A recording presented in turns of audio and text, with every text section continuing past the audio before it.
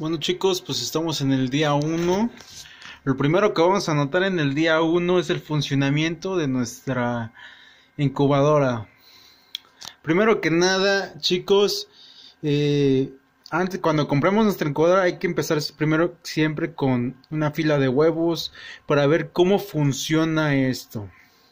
Yo en este caso decidí meter 24, los 24 huevos. ¿Por qué? Porque al finalizar el mes o al finalizar los 21 días, vamos a ver en qué parte del área se concentra más el calor. Ese es el primer objetivo. Entonces, en este caso vamos a sacrificar varios huevos para tener mejor entendimiento de esta incubadora. Yo anteriormente, eh, si lo recuerdan, tenía yo mi, mi incubadora casera que hicimos manualmente.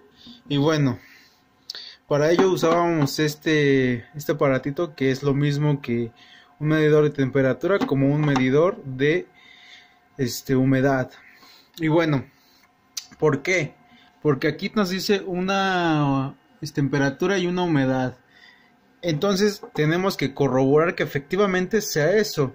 Yo ya lo hice y corroboré que la diferencia entre, entre estos dos aparatos es de un grado entonces no tiene tanta diferencia. Lo vamos a dejar así. No vamos a cambiar la configuración que ya viene de fábrica porque posiblemente uno de los dos esté fallando no pero tenemos una diferencia de un grado de temperatura.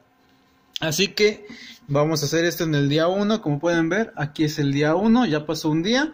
Desde que metí los huevos tiene 60 y 61 de humedad. Eh, aquí vamos a meter el agua por acá. Yo no lo había yo entendido a este, este fue mi error. Aquí tenemos temperatura, aquí humedad, días pasados. Este botón sirve para mover este, los huevos. Y este para ver la configuración de, de la temperatura.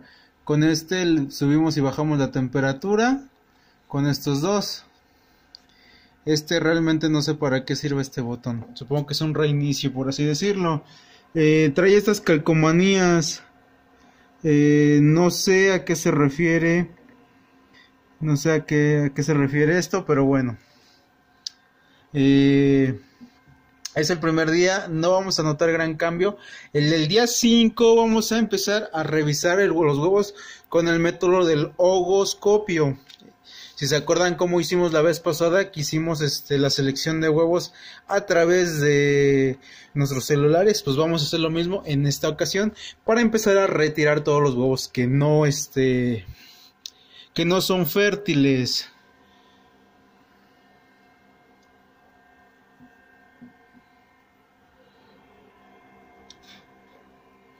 Y bueno, vamos a empezar a retirarlos en el día 5, que es cuando más ya se ve un avance en el desarrollo.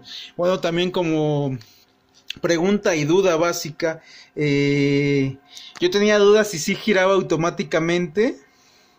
Aquí le ponemos a presionar el botón y se mueven automáticamente.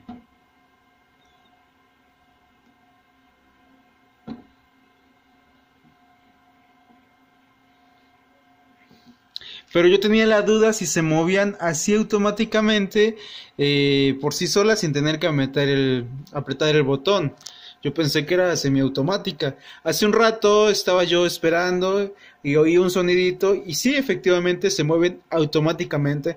No hay que estar cuidando los huevos. Es una de las dudas que más este, uno se hace en estas cuestiones cuando es nuevo con la incubadora.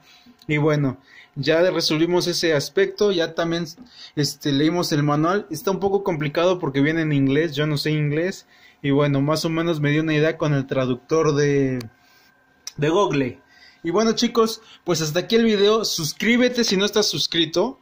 Y síguenos, activa la campanita porque vamos a estar subiendo el día a día de los huevos de la incubadora. Yo soy Noya, aquí esto es Criadero Castro, la incubadora, día 1.